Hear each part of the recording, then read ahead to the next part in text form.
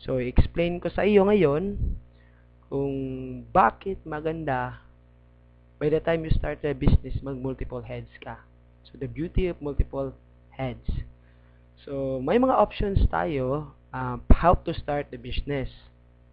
So, first option is tinatawag namin na starter package which is one head.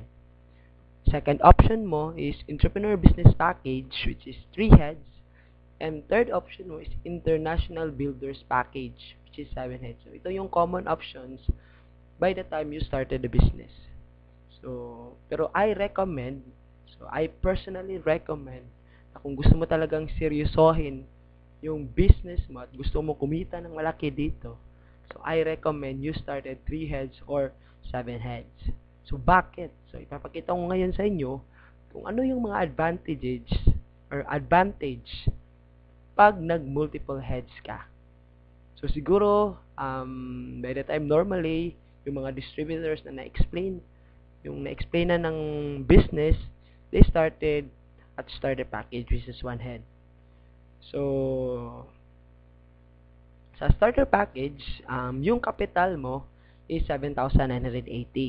So, ito yung pinaka-capital mo sa business and yung worth of products na balik sa'yo, 6,000. And then, meron kang isang, uh, isang scholarship certificate.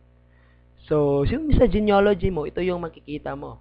So, one account, meron kang left, meron kang right.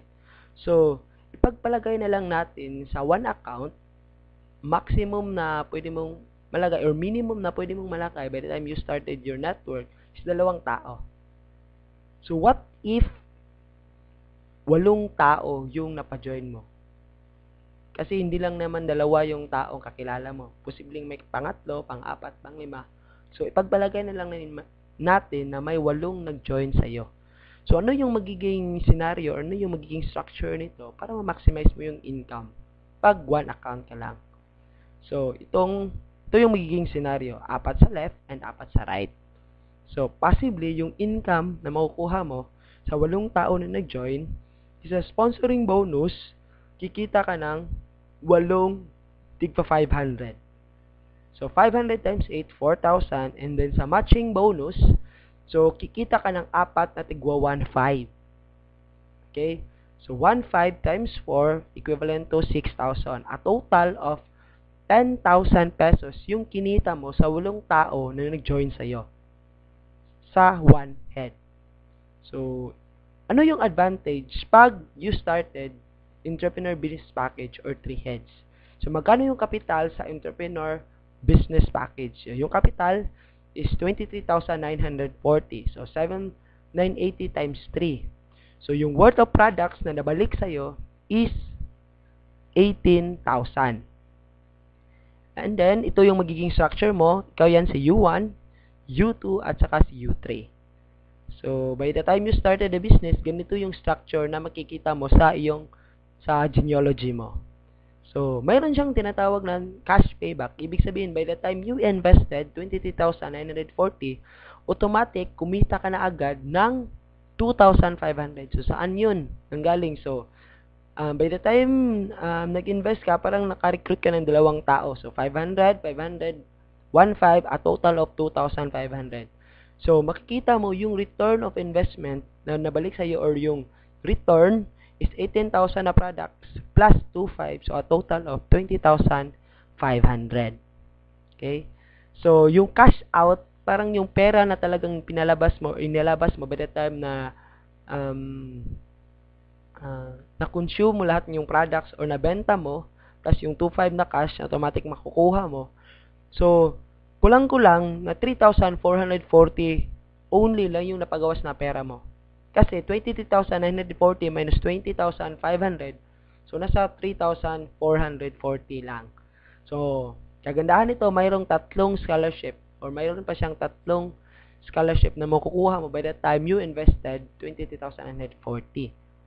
So, the same scenario, yung pagpalagay natin nangyari na mayroong walong taong nag-join sa iyo, ito yung magiging scenario. So, tig dalawa. So, under kay U3, dalawang tao sa left at saka sa right. And then, sa U2, dalawang tao left at saka sa right. So, magkano yung income mo? Sa walong tao na nag-join, ng 3 heads yung um, nagsimula ka ng 3 heads. So, yung income mo, the same, sponsoring bonus is 500 times 8, 4,000. Pero sa matching bonus, um, kikita si U3 ng dalawang tigwa 1.5. Okay? Kasi na may dalawang match na nangyari under kay U3. So, 3,000.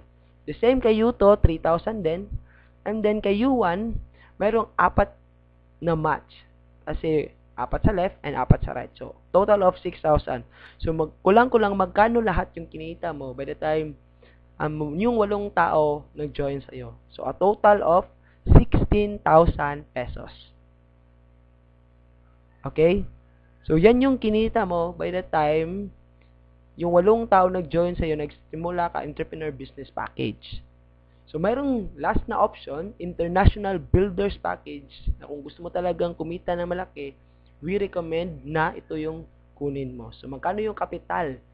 So, you invest almost uh, 55,860. So, kulang-kulang mga 56,000. Worth of products na bumalik sa'yo is 42,000. And then, ito yung magiging structure mo sa genealogy mo. So, U1, U2, U3, U4, U5, U6, at saka si U7, nakamaka, nakapangalan yan lahat sa'yo. So, magkano yung cash payback? So, hindi ka pa nagsisimula, automatic, kumita ka na agad ng 10,500. So, i-compute mo lang, apat na direct referral at nasa limang pairing yan. So, yung return is 42,000 plus 10,500. So, nasa 52,500. So, kung i-minus mo, 55,860 yung capital, minus 42,500. So, parang yung cash out mo talang talaga na pinalabas na pera mo is nasa 3,360 only. So, meron ka pang pitong scholarship na pwede mong ipamigay sa mga kakilala mo, kapatid mo, mag-anak mo. So, The same scenario, 8 persons yung nag-join sa'yo. So, ito yung magiging scenario. So, meron siyang apa, uh, walong leg na maglalagay ka tigi isang tao. Okay? So, yung income mo, magkano yung income mo sa walong tao? Sponsoring bonus, nasa 5, 500 times 8, 4,000. So, matching sales bonus, si U7, kumita siya ng isang isang pair. So, 1.5. So, si U4, U5, U6, at saka si U7, kumita sila ng tiguan 5 sa matching bonus. So, lumalabas, si U7 to U4, kumita ka ng 6,000. Okay? Si U3 at saka si U2, kumita ng tigda dalawang 1.5. So, a total of 3,000 times 2, 6,000.